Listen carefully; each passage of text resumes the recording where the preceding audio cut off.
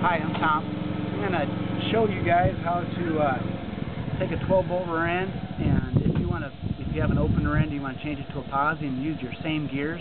A good method to use to do that. Uh, this is a, a 67 rear end 12 bolt with 331. It's got a posi in it already. It's got a posi in it already, but I'm going to re-bearing it and I like to record how the gears are set up. So it's the same method you would use for an open rear end. You're going to need a few things. You're going to need some gear marking compound. You're going to need a 9 16 wrench in our case. You'll need brake cleaner to clean the gear so they're nice and dry.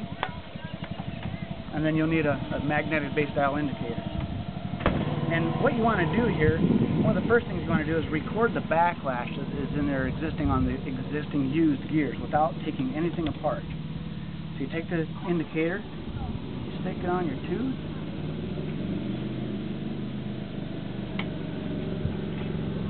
and then you uh, you have to hold your pinion flange because it will try to turn pretty easily over and have loose, bearing. So you get it all the way one way.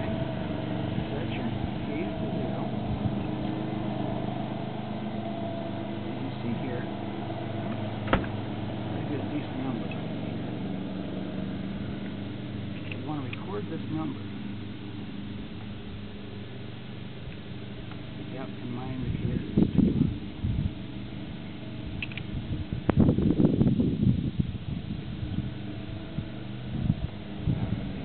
you can see there, it's got about 12 thousandths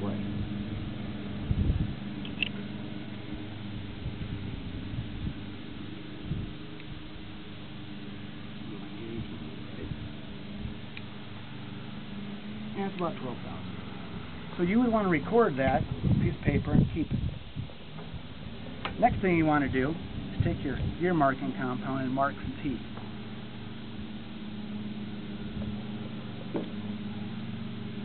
I've already cleaned the grease off these teeth. You mark them. Both sides.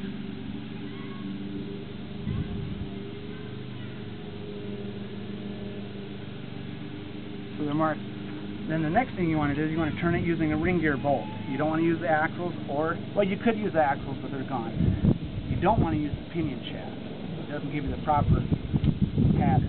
And in this case it turns so easy you want to hold the pinion flange and make it turn harder. That's what I do.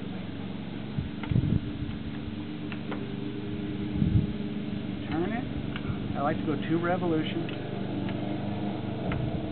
each direction.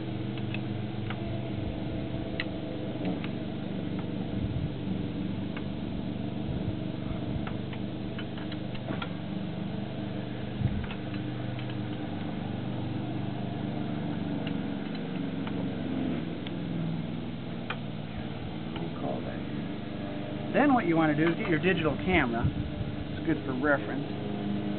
And you'll take a picture of these teeth patterns.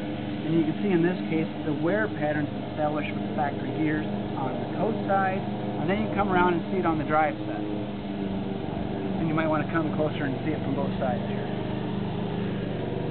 And this this set of gears has a good established pattern. It's it's it's wearing nicely. You can see how it's broad across the the top and the bottom of the tooth. So there's the bottom of the tooth and there's the top of the tooth. And it pretty much goes from top to bottom this way on the tooth also. And that's the drive and you go to the coast and you can see it's got a nice established clean pattern from one side of the tooth to the other. Then you can take it apart, look at this shim here, measure it, keep it right and left side. There's a shim on each side, and there's also a pinion shim which is on the pinion shaft.